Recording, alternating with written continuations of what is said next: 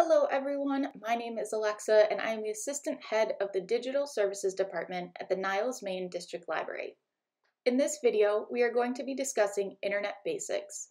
This is a great tutorial if you want to learn the basics of Internet technology, how to navigate a browser, locate a website, and stay safe while online searching.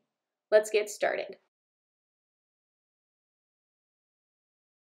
In this video, we will go over terminology and descriptions, web browsers and URLs, search tools and tips, and internet safety. The internet is a system of interconnected global computer networks that allow people to share digital information with one another. The web is a system of online documents that are linked together, very much like a spider web.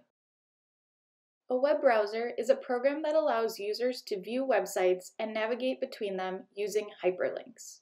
Web browsers are also used to access web-based applications like Yahoo or Gmail, and to store and access documents using web services like Google Docs. The four most popular web browsers are Safari, Firefox, Chrome, and Edge. A website is a collection of web pages that are linked together to present information about a business, group, organization, or person.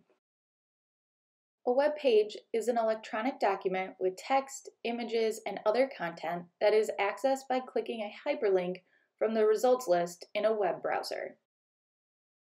A home page is the landing page or page that first appears when accessing a website. Usually, it is the page that contains hyperlinks to all other web pages within the website.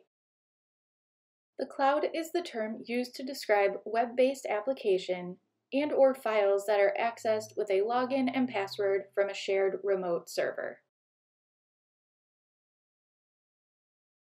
The address bar is the area where you type in the address of the website you want to locate, or keywords if the exact name is not known.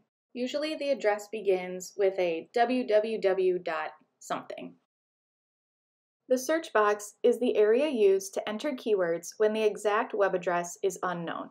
Some browsers only have a single search box that functions as both the address bar and the search box. Tabs are the feature that allows users to have more than one web page or website open at one time and easily move back and forth between them. Buttons are the features that allows users to access specific web browser functions, such as refresh the page, move forward or back between screens, or return to the home page for the web browser. A web address tells a computer the correct combination of letters, numbers, and or characters to reach a particular website from any computer in the world. It is also why it is called a URL, or a Uniform Resource Locator. A web address or a URL contains no spaces and does not forgive spelling errors. The end of a URL or a web address provides information that may tell users something about the type of site it is.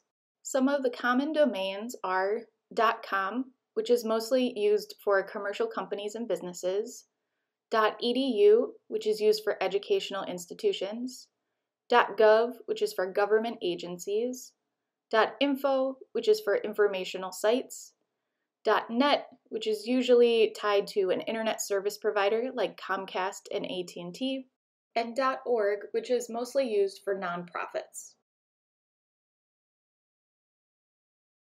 The home page is the website page that will first appear when you open your browser. Search engines, such as Google, can be useful as home pages. The address bar is the box where you type a web address or a URL. Clicking the back arrow will take you back to the previous page you were on. The forward arrow will return you to the page you were on after you've hit the back button. The refresh button will reload the page you are on. This is helpful if the page didn't load properly or if recent updates have been made. When you open a browser, you start with one tab. You can use this tab to visit other websites by entering a URL into the address bar. You can open multiple tabs within one browser window and switch back and forth. Even though the internet provides lots of good information, services, and opportunities for connecting with others, it's important to be aware of the risks associated with being online. Secure websites usually begin with a web address http colon forward slash forward slash and or show a lock icon or message to alert users that the website owner employs their own security team to ensure encryption of user information. Antivirus software is software that protects your computer from viruses or malware.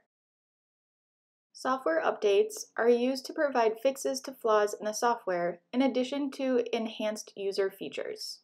It's a good idea to stay updated on software updates that your computer or device recommends. Having strong passwords for your logins will thwart many hackers. Here are some guidelines to follow to create strong passwords. Have at least seven characters in your password. Use a mix of upper and lowercase letters. Use at least one number. Use a symbol. And have your password be unique to the website that you're using. Here are some tips and tricks to use while you search online. Use quotation marks around a phrase to limit results to the terms inside the quotation marks.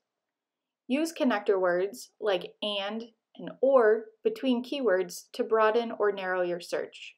For example, you can search Chicago and events, or you can search Chicago and events or museums. If you aren't getting an exact match or the results look off to you, be sure to check for the following additional pages of results, which appear in number form at the bottom of the page, and helpful hints from the search engine like also try or searches related to. Keep your software programs and apps updated to the most current versions. Create strong, unique passwords for each website and store them in a secure location, i.e., not in a folder on your computer desktop labeled passwords. Also ensure your passwords have at least seven characters, a mix of upper and lowercase letters, and contain both a number and a symbol.